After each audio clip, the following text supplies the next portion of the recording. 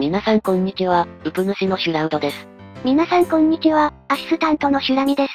今回は、実座コラボ企画、コア通病 E8400 の OC 対決となります。ところで実座って何？実座はジャンクや中古、新品問わずパソコンライフの日々のラッキーを見つける活動をしてる団体です。もしよければ概要欄に URL から見ていただければと思います。ちなみにどんな方がこのコラボに参加してるの？はい、今回の参加者はこちらです。いろんな方が出てるのね。他の参加者の動画は概要欄に貼っておきますので、もしよければ見ていただければと思います。ということで早速やっていきましょう。ところであんた OC なんてできたっけ？いえ、やったことありません。ということで今回使用する CPU はこちら。コア通病 E8400 になります。こちらはネットで購入いたしました。2コア2スレッドでクロックは 3GHz になります。対応ソケットが LGA775 ということで、今回はこちらのマザーボードを用意しました。お、なんか色とりどりなマザーボードがあるわね。はい、まず一つ目はこちら。MSI の P45 マザーボードになります。こちらはハードオフの青箱から見つけてきました。値段は1100円になります。ジャンクなんで動くかはやってみないとわからないので、予備も兼ねてこちらのマザーボードも購入しておきました。もう一枚はこちら。ギガバイト製の P45 マザーボードになります。型番は GAE-P45UD3R になります。値段はこちらも1100円でした。どちらも1100円だったのね。まあ2枚用意したのでどちらかでも動けばと思って、それでは準備していきましょう。ということで早速準備してきました。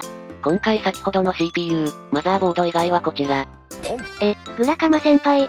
対応リテールクーラーがあると思ったんですが、見つからなかったのでグラカマ先輩にしました。まあきっと冷えてくれるでしょう。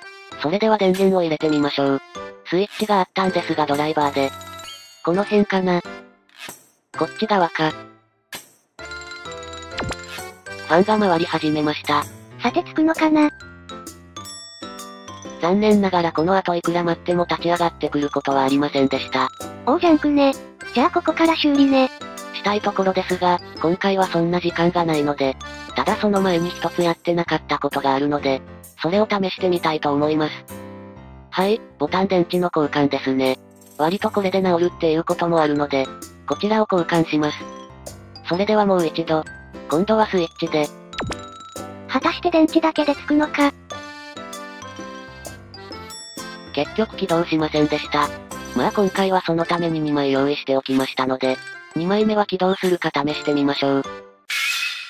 シュラララ。はい、それでは2枚目マザーボードでも試してみましょう。こっちも動かなかったりして。その可能性はありますね。果たして起動するのか、起動してくれないとコラボ対決すらすることができないんですけどね。果たしてどうなるのか。デリート連打で BIOS に入れれば。それでは OS を入れてみます。ということで Windows 10を入れてきました。まずは低角でのベンチマーク。スコアは 147CD でした。ではここから OC をしていきたいと思います。OC をしたことがないので、ためにならない動画さんの動画を参考にやっていきます。まずはこちらを開きます。ここの項目でクロックコントロールをオンにします。動画を見ながらやっているので初めての OC にお付き合いください。ここから次にクロックを上げていきます。その下の333という数字を変えていきます。とりあえずまずは400にします。続いて PCIe の周波数を100に固定します。あ、行き過ぎた。続いてメモリの設定も変えるみたいです。こちらはよくわかりませんがとりあえず一番低いのにします。最後に電圧をいじります。クロックを上げるのもそうですが、電圧を上げるのって怖いですよね。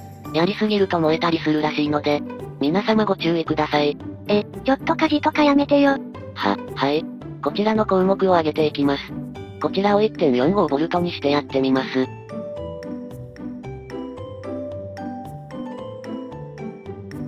最後に保存して再起動ですね。はい、こちらがよくわからなかったんですが、シネベンチ表記で 4.95GHz になりました。まあこれが後に違うことに気づくんですけどね。さて15倍速で回しているのでそろそろ終わりますね。結果は 201CD となりました。なんか平気そうなのでもっと上げてみましょう。続いてはシネベンチ表記 4.98GHz になりました。え、そんなに簡単に 5GHz 近く出るもんなの？いや私もよくわかってないのでそこら辺は、ただグラカマ先輩とはいえ、発熱が大したことないんですよね。ということで 203CB でした。まだまだいけそうですね。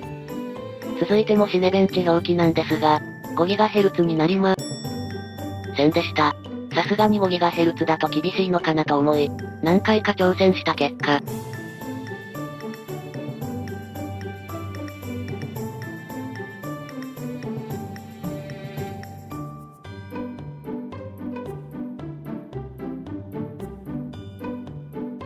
結果は 210CB となりました。5GHz も出たし感想もしたし、これで上位はもらったなと思いました。そう？この時までは、シュラララ。さてじゃあもっと上を目指してみるか。と思って CPU-Z を今度は出しながらやってみました。シネベンチ表記では 5.01GHz になっています。ですがこちらの CPU-Z を見てみると、4094×9 となっております。4094×9。36,864MHz。つまり 3.6GHz。はい、もうここで私の頭の中は意味がわからなくなってしまいました。CPU-Z とシネベンチ表記がずれてるってこと？多分そういうことですね。CPU-Z の方が正しいと思うので 3.6GHz が正しいんだと思います。そしてさらにここで重大なことに気づいてしまいました。え、まだ何かあるの？シュラミちゃん、今回のこの OC 対決のルール覚えてますか？えー、っと確か、コア通常 E8400 の OC 対決だったかしらはい、そうなんです。コア通常 E8400 の OC 対決なんです。それがどうしたの？